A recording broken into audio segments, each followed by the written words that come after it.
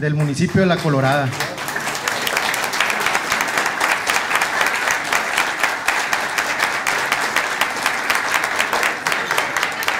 Pasión en competitividad para agronegocios en las cadenas de valor de la industria del bacanora. En este caso, este, algunos ponentes que van a estar por parte de Coesprizón, por parte... La verdad es que ha sido un, largo tramo, como bien lo decían ahorita, el ah, llegar a esto, el que se brinde la confianza para, la, para que el organismo regulador del bacanora sea quien certifique.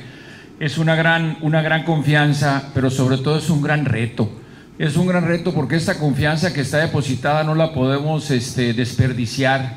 Esto nos va a permitir sin duda llegar a la comercialización de, una manera más activa. Eh, felicito de nuevamente, de nuevamente al señor Jorge Aguirre por la certificación, el ser el primer certificado en esto. Es un ejemplo sin duda a seguir.